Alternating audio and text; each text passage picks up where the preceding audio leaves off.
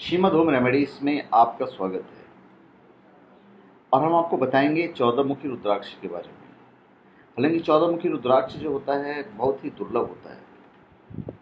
तो चौदह मुखी रुद्राक्ष किसका प्रतीक है? उसकी उपयोगिता क्या है? और उसके पहनने से क्या लाभ होता है? ये हम आपको बताने जा रहे हैं। देखिए चौदह मुखी रुद्राक्ष श्रीकंठ देव का प्रतीक है। और हनुमान स्वरूप है। हनुमान जी के समान ही है। चौदह मुखी और ये बहुत दुर्लभ होता है, अति दुर्लभ और काफ़ी महत्वपूर्ण भी होता है। क्योंकि इस रुद्राक्ष को स्वयं भगवान शिव ने धारण किया हुआ था, चौदह मुखी रुद्राक्ष को।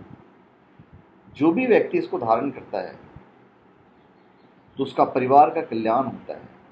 तथा भूत, पिशाच, डाकिनी, शाकिनी, इन सब का प्रकोप नहीं होता, ये लोग नज़दीक भी नहीं पटकते जो भी व्यक्ति इसको धारण करता है, उसके जीवन में कभी भी दुर्घटना, भयंकर रोग और हानि कदापि नहीं होता है।